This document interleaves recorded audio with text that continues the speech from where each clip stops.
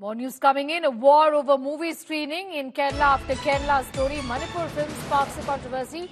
Row over church screening a film from Manipur after propaganda cries over Kerala story screening.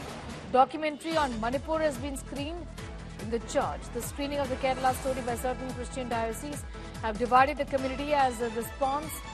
As in response, the Vayapin Sanjopuram Church in the Ernakulam uh, Archdiocese screened a documentary of Manipur, Cry of the Oppressed, about the violence in the state of Manipur. The church has informed the decision was taken in the backdrop of the screening of the Kerala story by certain churches and said it was a propaganda film. And issues like the crisis that the church faces in Manipur was what needed to be shown to the students. Shibi is getting us more details in that story. Essentially, Shibi, this is a movie versus movie war that has started off here involving the church.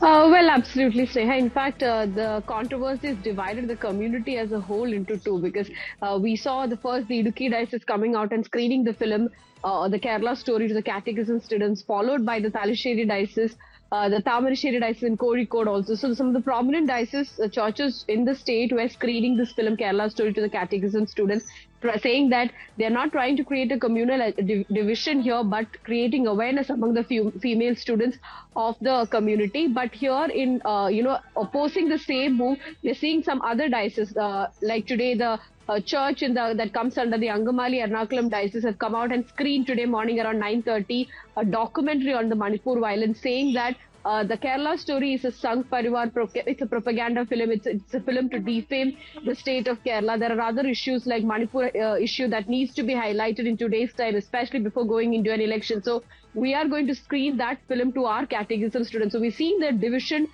taking place between two, you know, between a community, between the diocese of various uh, churches, saying that uh, if you are going to highlight uh, this film to the uh, the film Kerala story to the catechism students, we will show the Manipur incident to our catechism students is what uh, the other few churches are saying. Uh, in fact, some of the bishops have also come out saying that you know uh, Kerala story should not have been screened by the diocese, saying uh, as it is and as the church's duty is to spread love and not hate, is what some of the prominent bishops in the state have said.